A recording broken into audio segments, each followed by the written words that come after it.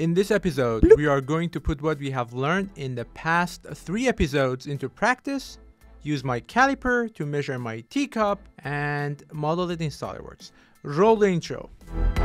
Wait, wait. If you're starting this series from this episode, you should stop right now, go back to episode 1 because in this series, everything is about the sequence. Okay? Roll the intro. I'm gonna announce the units in millimeters, but for the sake of you, my friend, who are not working with a metric system, I'm gonna put it in inches on the screen. Follow it step by step as I'm doing. Open your SOLIDWORKS. I'm not gonna go fast. I'm gonna take my time. We're gonna go really slow. And the whole point is that you do this model with me. And at the end, we're gonna actually uh, measure the weight of my cup. You're gonna measure the weight of yours and we will see if you get the exact same amount. All right. I don't need to start with the measurements. All I do because SOLIDWORKS is a parametric software, I'm gonna draw the outer geometry of this cup. And since it's a symmetrical geometry, I don't need to draw the whole thing. I can draw only the half of it, to, you know, one half to the right or to the left, and I can revolve it because I see an axis here and we're gonna revolve it, right? Starting from this point down, I'm gonna go to the right, no dimensions needed, don't forget that. We're gonna have a curve here. This is a little bit curved, so we cannot go with a line. It's not gonna be right. So this time we're gonna pick spline because it's curved. We're gonna place the first point here and the second point somewhere here, doesn't matter. Then we press escape on the keyboard to get rid of it and this is what we are left with. Good. At this point, I would like to start doing some measurements. First of all, let's do the height. So the height of the mug is 81.4 millimeters. So we're gonna go to Smart Dimension, select the horizontal line, select the highest point on the spline, and assign 81.4 millimeters. Then we will measure the outer diameter of the mug, which is 83.7. And since this is the diameter and we are working on half a cup, either I have to assign only half that or I go here next to line, click on this arrow, pick center line and draw a vertical line from the origin. Okay, look, this is a vertical line. Now, go back to smart dimension, pick this point, pick the center line. Now, here's a tip. When you select a point and a center line in a 2D sketch in SOLIDWORKS, you can move your mouse cursor to only one side where the point is existing, in this case to the right side of the center line, and your dimension turns into the radius mode. If I move my mouse cursor to the left side, it turns into the diameter mode. So it's up to you what you want to select. In this case, because I measured the diameter, there is no need for me to calculate the radius. I can move my mouse cursor here, then one left click, and assign 83.7 millimeters to it. Let's measure the lower diameter of the mug. 66.3.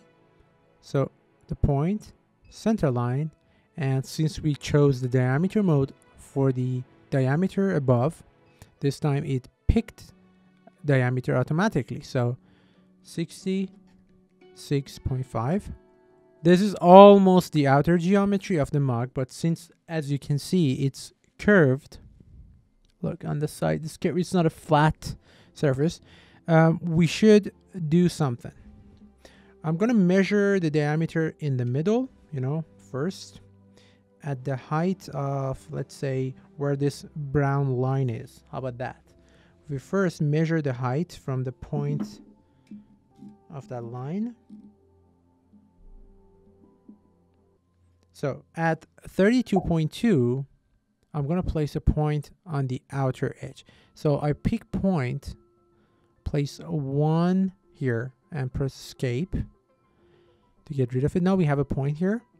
Then I'm gonna pick smart dimension, select the horizontal line on the bottom, select that point and assign 32.2. All right, what is this point? This point is where this line starts. So what is this line? It's nothing, it's just a reference for us. We're gonna measure the diameter at this line and assign that diameter there. How? You may ask, because the sketch is fully defined, I'll tell you. First, let's measure the diameter at that point, which is 80 uh, 0.0, funnily enough. Um, and then we do that.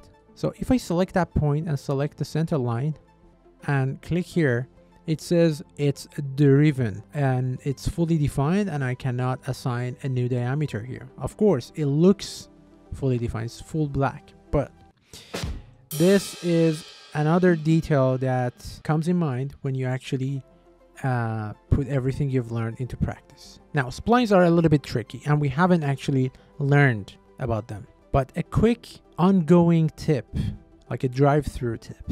When you click on a spline, you see two vectors appear. I mean, depending on how many points your spline has. We use two points to draw this spline. That's where we have two vectors. You see, this is this gray vector that goes orange when I move my mouse on it. And it has three selecting points. One here, one the arrow, and one the point. If I move it from this point, I can only manipulate the angle. You see that? Control Z on the keyboard. If I move it from the arrow, I can only maneuver the size of my vector, the magnitude of my vector actually, and Control Z. And if I select the point, I can maneuver both at the same time, like this. So what are we gonna do? Now that it's fully defined, we can still change it. We wanna move it enough to the right. So this point is 40 millimeters away from the center line or 80 millimeters in diameter. We saw that using a smart dimension cannot do the job for us. So now I'm gonna do a workaround. What do I do? I'm gonna go here, select center line again, and I'm gonna draw a vertical center line. Press escape on the keyboard, pick smart dimension, and select these two center lines and assign 40 to it. Why 40? Because this is my reference. All right, now that I know this is my reference and this point has to move to the right to be placed on this line, I'm gonna select or click on the spline move my mouse on this orange diamond, which is the angle manipulator of the lower vector of the spline. Hold it, actually drag it to the right all the way. So the point is approximately on that line. So since we cannot select it, I'm gonna leave it here and give you a value so you can follow me and get the exact same value. All right, so let's just leave it here. Go to Smart Dimension. Select this horizontal line. Select the point of the vector from the spline, the lower one, and assign the value of 45. Or actually, let's do 44, 70, sorry, 74. All right, assign the value of 74. Now leave it at that because we have just created the curve that we wanted. You see, this is the curve and we are not done. There is no way that I can revolve this for you right now. There is a way, but we are going to do it differently. We're going to go to offset entities. We are still in the same active sketching mode and we're going to measure the wall thickness now. The wall thickness is five millimeters, five null. So set it to 5 and select this line. Since we measured the outer geometry, the offset should not go on the outside, it should go on the inside. So we come here on the property manager of offset entities and we check reverse. It flips the offset on the inside and we can also check cap ends. Look, it closes the sketch on both ends. Although we don't want to close it here. We only want to close it there. So there are two options. Either we check cap ends, we go and delete this one, or we don't check it and we go, we create this one. The choice is yours. But let's do it this way this time. I am not to check it. I'm to leave it open to show you how to work with different tools. We're to cap this one. So we go to the arcs, click on the down arrow and pick tangent arc. Select this point, go all the way back and place another point there. Okay. I'm going to go down here, pick a normal line and close my sketch here. Okay. To make sure that my sketch is closed, I'm going to activate shaded sketch contours. And you see, because my sketch is closed, it gets shaded. If you activate this and your sketch doesn't get shaded, it means your sketch is not closed and you're going to get stuck in the next step. So make sure to test that. I told you to always fully define your sketch. Is our sketch right now fully defined? Definitely not. We see it is underdefined. So first of all, this is not fully defined. Let's see if we can assign a radius to it. No, we cannot. What's wrong? Can I move anything? Yes, I can move. This is the spline. Look at that. It's not a mug anymore. Control Z, Control Z. So what we do instead is this. We pick Smart Dimension, select the lower horizontal line, and we select the center point of that arc. And then we assign whatever value it has. We don't want to change that because we have already assigned the height. So we're going to click OK. Now it's fully defined as we can see. And our sketch is ready to be revolved. We go to feature. We use revolve boss. we already have a center line, so we're gonna pick it and click OK. All right, this is our mug, but I see a lot of curvatures here. And even on the bottom, we have a cavity, it's concaved. But when you look at our model, it's absolutely flat. So do we want to go back and fix it? We can. And another thing, let me just give you a cross-sectional view. Look how sharp how sharp this point is. So how do we do that? We can go and select fillet, select the inner surface on the bottom and the outer surface on the bottom again. And I think the radius 10 is way too much. So let's just lower it down to five or yeah, or even three millimeters and click OK. Now it's rounded and on the inner side it's rounded too. All right. So use fillet with a radius of 3. Now, in order to get the mass, we need to assign a density. And in order to assign a density, we need to assign a material to this. We go to the material. Don't get confused. We haven't learned any of these. I'm just giving you previews because these don't get you off track. The material is here. Just right click on it and select the first one, plain carbon steel. If you don't see it in your menu, which I doubt, you can go to edit material and go to steel, um, find plain carbon steel. Just click on apply. We don't want to get into details, all right? This is a steel made cup. Now, let's just do a quick measurement. Go to the evaluate tab over here. If you don't see it, right click on feature or the sketch tab go to tabs and make sure to check evaluate tab and it appears here. Once you go to the evaluate tab, you see this option, mass properties. Click on that and it gives you all the necessary information of your model. In this case, the mass of our cup should be 870.62 grams. If your answer is within 1% of this value, then you've done the steps right. If you're getting a different value, then you have done something wrong at some point. All right, before I wrap this video up, I have a question for you. All right, I just deleted everything we did and I went back to our original sketch. Okay. All right. At this point, we decided that we need to offset the sketch with the thickness as much as the thickness of the wall on my cup and close it. Right. So my question is, can I just revolve this without closing it? Let's take a look. Nope.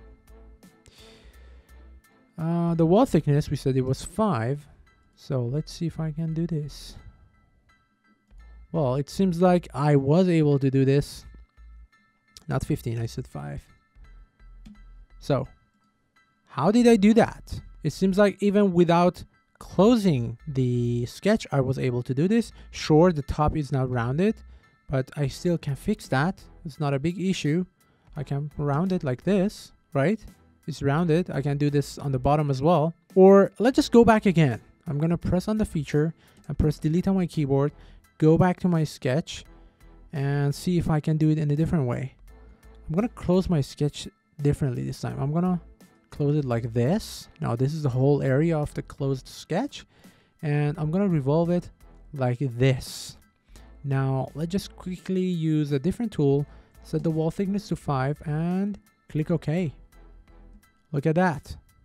Why did I do it like the way I did? Why didn't I close my sketch? Or why didn't I do it like this the first time? Which one of these three options is the best? The answer of knowing when to go for what tool is the only thing between you and mastering SOLIDWORKS.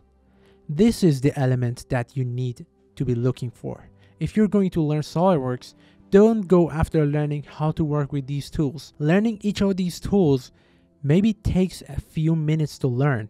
But what makes learning SOLIDWORKS so difficult to learn that some people have to spend years, invest years to understand it is knowing when to go for what tool to get the best results, uh, work the most efficient way, and so on and so forth. So my question is, if there is more than one way to do something so basic, how many ways do you think there are to do something way more complex? Many many, many ways, but how do you choose which one? Why do you choose that one? Knowing when to use what tool in 3D modeling, especially in SOLIDWORKS, is considerably more important than knowing how to use it. While all the trainings on the internet is concerned with helping you how to use a tool, I've made a full course that after covering the hows all the way to the last detail there is, teaches you when you need to use it and why. And there is one simple reason for that. You can always come on YouTube or elsewhere on forums on internet and search for how to work with that swept boss. You'll find your answer in seconds, but no one can tell you when to use swept boss in your project because no one knows what your project is or no one knows what the idea in your head looks like. So if you're truly serious about boosting your SOLIDWORKS skills to the whole new level and acing your CSWP exam from point zero, from absolute beginners in just 30 days, click on the link in the description below or on the top right corner and it will take you to my page. Once you register, First, you'll go through a full webinar that fixes all the bad habits I know you have adopted trying to self-learn SOLIDWORKS. After taking care of that bad habits and replacing them with good ones, I'll give you access to my mini course to warm you up for the full course, which is about another one hour of uh, in-detail video that gets you started on the right foot. From that point, you'll know what's best for you. Everything I said so far is absolutely free by the way. Remember, what I'm saying is not for everyone, only if you want to master SOLIDWORKS, whether it's for your job, hobby, or studies. I'm Aryan, and I'll come back with the next episode. I'll see you soon.